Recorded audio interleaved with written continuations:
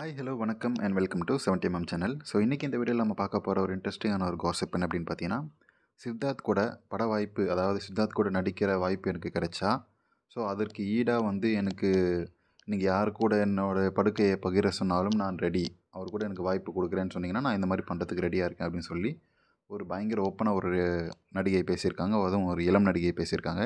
So யார் அது அப்படின்றத நம்ம டீட்டெயிலாக வீடுகளை போய் பார்க்கலாம்.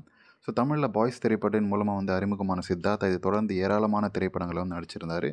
தமிழ் தெலுங்கு ஹிந்தி உள்ளிட்ட பல மொழிகளில் நடிச்சிட்டு வரும் இவர் தற்போது கமலோட இந்தியன் டூ படத்தில் வந்து நடிச்சிட்ருக்கிறாரு. ஸோ இந்த நிலையில் வந்து இளம் நடிகை ஒருவர் சித்தார்த் வாய்ப்பு கொடுத்தால் அவருடன் ப படுக்கையை பகிர தயார் அப்படின்னு சொல்லி அது ரெடியாக வந்து பேசியிருக்காது ஸோ இது வந்து கடும் பரபரப்பை ஏற்படுத்தியிருக்கு இந்த நிலையில். தற்போது சினிமாவில் வாய்ப்புக்காக நடிகைகளை அட்ஜஸ்ட்மெண்ட் செய்ய சொல்லி கட்டாயப்படுத்து அந்த மாதிரியான நிலை இருப்பு சினிமாவில் இருக்கு இல்லையா? ஸோ அது குறித்து ஒவ்வொருவராக தங்களுடைய கருத்துக்களை வந்து தெரிவிச்சிட்டு இருந்தாங்க ஸோ அதிலும் வந்து பைல்வான் உள்ளிட்ட பல பிரபலங்கள் அட்ஜஸ்ட்மெண்ட் செய்தால் மட்டும்தான் முன்னணி நடிகையாக முடியும் அப்படின்னு சொல்லி வெளிப்படையாகவே சொல்லியிருந்தாங்க.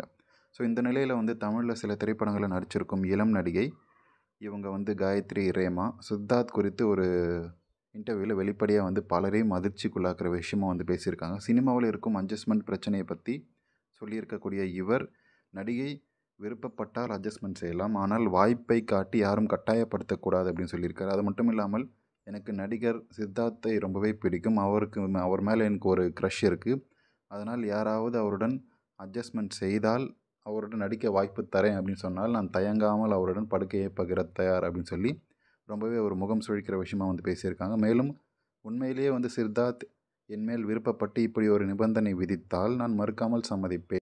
அப்படின்னு ஒரு மோசமான டாக் ஒன்று விட்டுருக்காரு. அது மட்டும் இல்லாமல் அவர்களுடைய அவங்கவுங்களுடைய உடல் வந்து அவங்கவுங்களுடைய இஷ்டம் இல்லையா? ஸோ அட்ஜஸ்ட்மெண்ட் செய்வதில் தப்பே கிடையாது அப்படின்னு சொல்லி சொல்லியிருக்காரு. அவருடைய இந்த பேச்சுக்கு சோஷியல் மீடியாவில் பல்வேறு விதமான கருத்துக்கள் எதிர்வினைகள் வந்து பதிவிட்டு வந்துட்டுருக்காங்க.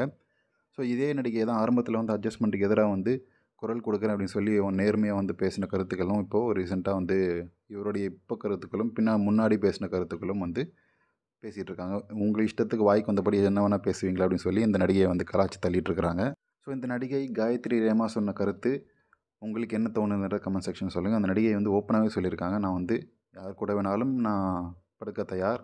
இவங்களுடைய இவருடைய எனக்கு பட வாய்ப்பு கிடைச்சார் அப்படின்னு சொல்லியிருக்காங்க. ஸோ இதை பற்றி உங்களுடைய கருத்து என்னென்னு கமெண்ட் செக்ஷனில் சொல்லுங்கள்